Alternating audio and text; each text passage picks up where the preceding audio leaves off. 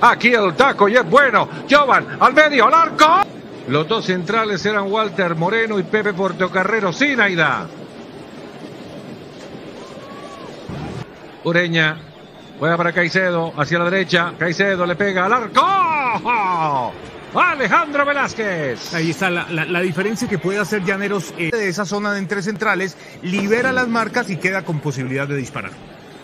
Pero fíjate que en ese remate que recién hace Caicedo, pues como que no es la especialidad de la casa, ¿no?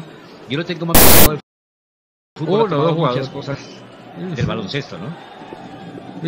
¿Quién se imaginaba hace 100 años que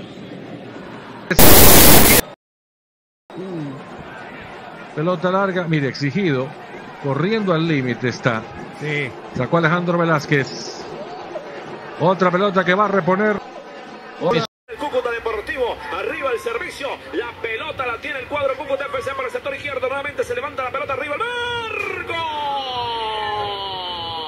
Raúl Niño, camisa número 5. Sobre la parte noroccidental viene curva al segundo palo. Se cuelga el arquero Alejandro Velázquez. Tenía veneno.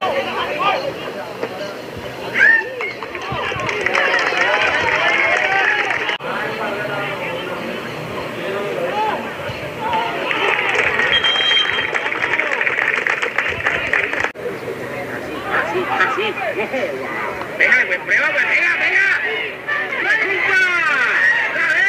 Dale. Gato.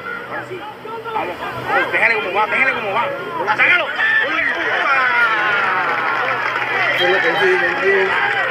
Se viene el cuadro Olimpia, viene arriba, viene solito, si le pega, Dios mío bendito, aparece uno por la mitad del campo arriba, primero el arquero Alejandro. Asegurando la pelota, se jugó la vida. El ar... La pelota la tiene ya el cuadro de la visita, sería Alejandro Velázquez, que tiene una cara de portero. Rasante al piso, ya conecta por la banda de Oriental Chaverra, que trastabilla, se equivoca Chaverra. Viene ahora Alejandro, jugándose la vida, el golero cucuteño metía la pierna.